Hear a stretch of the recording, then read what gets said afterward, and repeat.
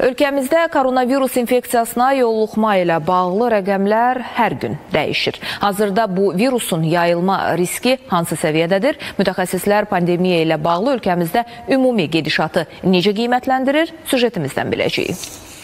Azərbaycanda ilk dəfə koronavirus yoluxma faktı 28 fevral tarixində qeydə alınıb ə, bir hal və sonradan gördüyünüz kimi aralarla, ara verilməklə müxtəlif günlərdə mart ayında 3, 2, 4, 6 və tədricən artma tendensiyası ilə yoluxma hallarının sayı Azərbaycanda demək olar ki, hər gün qeydə alınmağa başlayıbdır. İlk günlərdə yoluxma halı az olsa da bu rəqəm getdikcə artmağa başladı. Martın 27-sində 43 nəfər yoluxma qeydə alınmışdısa, ayın sonunda bu rəqəm 64-ə çatdı. Səhiyyə Nazirliyinin İctimai Səhiyyə və İslahatlar Mərkəzinin Səhiyyə Siyasəti və İslahatlar şöbəsinin müdir müavini Nabil Seyidov deyir ki, bu say ölkə daxili yoluxma səbəbindən baş verməyib. Bu hallara biz e, belə deyək də hissəvi pik halları deyirik. Bu dövrlərdə bildiyiniz kimi Azərbaycan xaricdə qalan həmvətənlərinin ölkəyə gətirilməsini təmin etmişdir.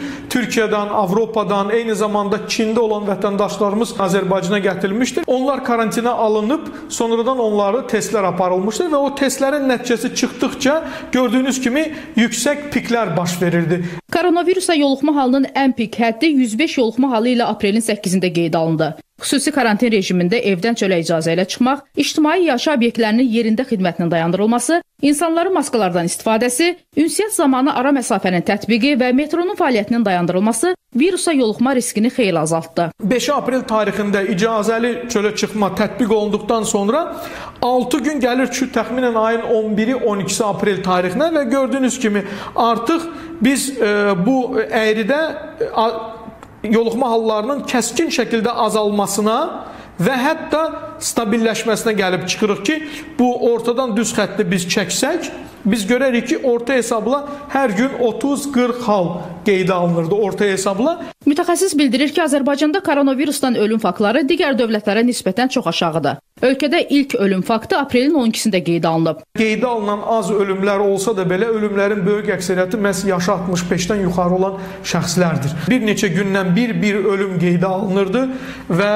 ən çox ölüm halı bizdə baş vermişdir 18-i tarixində 3 hal qeydə alınıbdır.